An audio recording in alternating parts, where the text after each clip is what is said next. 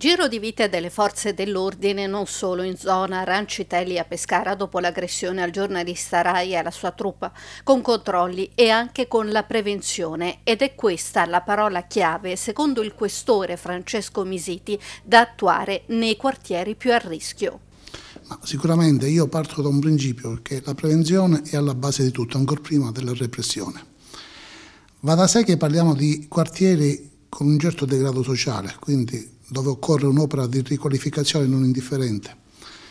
Va da sé che stiamo parlando di quartieri dove c'è una massa di occupazione abusive, quindi anche lì si sta vedendo d'intesa con il Comune sulla base delle determinazioni che sono state assunte in sede di comitato di censire tutti gli abitanti degli appartamenti per vedere un attimino se sono aventi diritto o meno.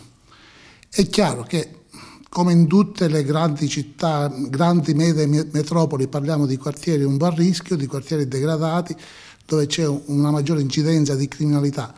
Ma come vedete, a, a prescindere dagli interventi massivi di, di, di questi giorni, l'attività di prevenzione su quei quartieri viene costantemente fatta tant'è a dimostrazione che nel, solo nel 2018 io solo sul Rangitello ho predisposto 170 servizi. Tanti cittadini per bene che abitano in quei quartieri, molti hanno però paura a denunciare determinati episodi.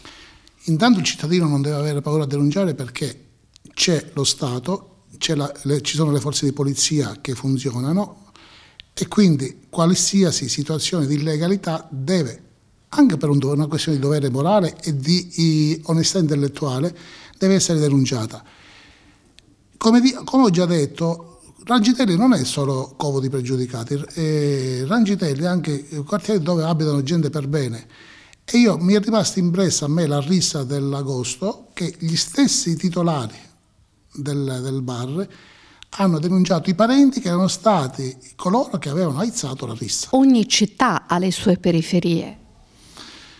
Brava, ogni città ha le sue periferie. Io parto sempre un principio. È chiaro che l'evento del, dell'aggressione al giornalista è un fatto di per sé deprecabile, sicuramente censurabile e che va punito nella, do, nella dovuta misura.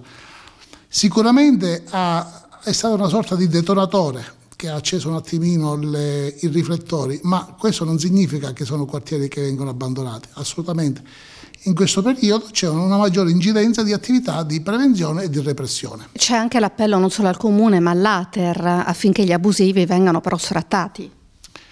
Con l'Ater è un discorso di problema di finanziamenti, perché eh, loro sostengono di non avere le disponibilità di somme per mh, consentire lo sgombero, perché uno sgombero comporta poi tutta una serie di attività collaterali quale può essere il trasporto delle masserizie, quale può essere la muratura. Abbiamo preso atto in sede di comitato della buona volontà dell'Ater di provvedere a stretto giro a reperire i fondi necessari perché ovviamente è una situazione che va definita, in un modo o nell'altro va definita.